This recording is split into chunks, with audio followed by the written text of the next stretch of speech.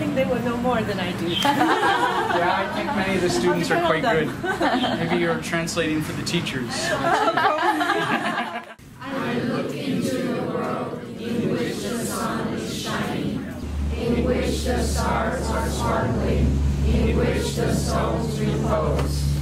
But I will give you a clue first, and that is projective geometry has no measurement at all.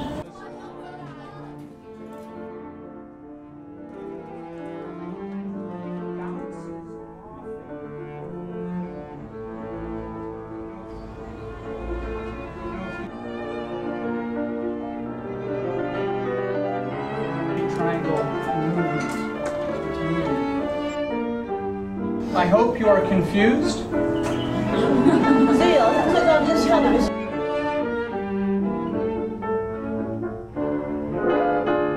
you are good at math, then you don't get confused. And this is wrong.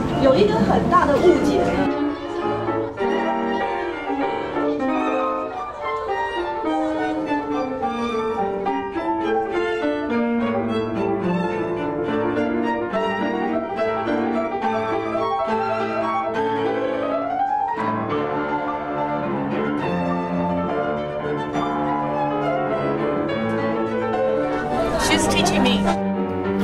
Go! One, two, three, four, five, six, seven.